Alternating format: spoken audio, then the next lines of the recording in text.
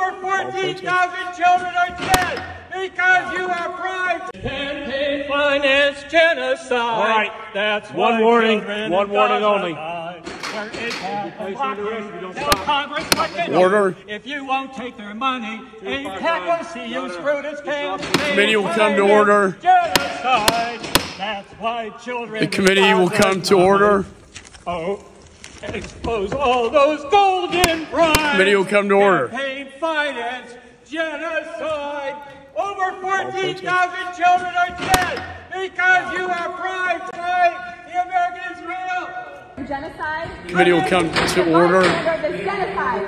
I am a nurse. Healthcare workers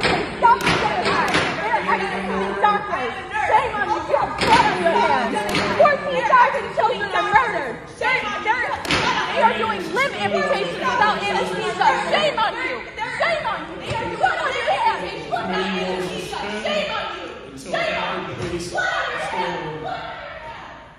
In FY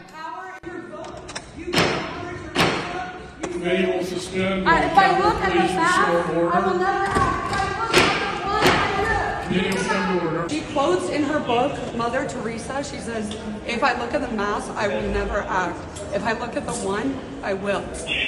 I'm asking her to look at Asim Al Nashar, a three month old who today weighs less than he did on his birthday.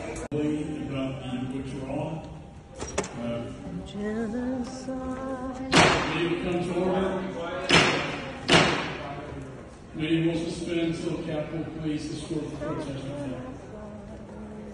There were three people in this hearing, and this is a hearing that Samantha Power was talking. She mentioned the word Gaza, but she didn't say anything about the famine that's going on there, about the starving children, about the genocide.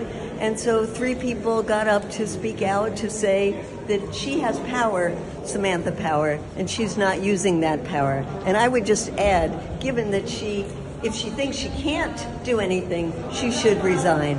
It's the Foreign Relations Committee we were just in as well, and I'd like to note that Congressman Sherman, Congresswoman Manning, um, Congressman Bera, Congressman Schneider, um, and Congressman Costa were all in there, and collectively they've received over a million dollars from AIPAC in this term. Three of them just returned from a trip with Netanyahu. So I don't appreciate foreign agents influencing my members of the Foreign Affairs Committee.